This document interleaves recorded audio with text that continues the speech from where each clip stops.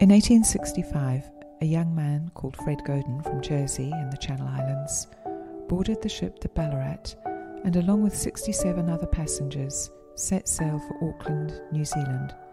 Fred was just 22 years old, and this is his diary of his journey. Leaving Jersey and his parents and siblings, knowing he would probably never see them again, was a source of great sadness to Fred, and he admits to shedding tears when he left.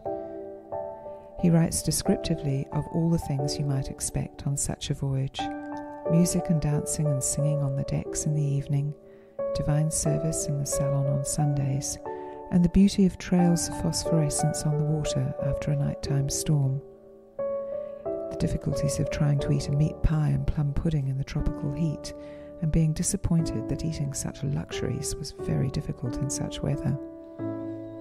On these pages, Fred has copied the banners that were made to advertise the variety of entertainments to be laid on for Christmas Day.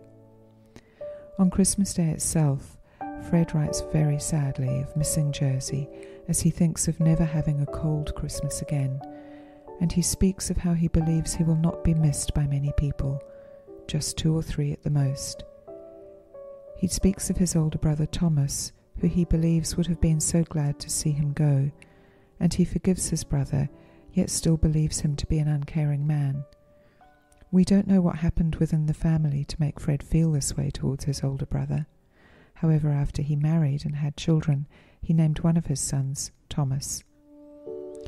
The Ballarat arrived in Auckland on Friday, the 5th of February 1866, after 103 days at sea. After six weeks in Auckland, Fred was still seeking employment one of his last entries, he bemoans his situation, saying, I hope that fortune will yet give me an opportunity of escaping the society of these confounded fleas, flies, cats, and drunken soldiers. Oh, those cursed little creatures, fleas, I mean. I think they are aware I am writing about them, for even now they are tormenting my legs dreadfully. However, I must put up with these petty misfortunes. Fred eventually settled in the Waikato area he married and had a few children. After being a widower for 10 years, Fred took his own life, leaving a note to say he was suffering from depression. He had shot himself. The year was 1920. He was 77 years old.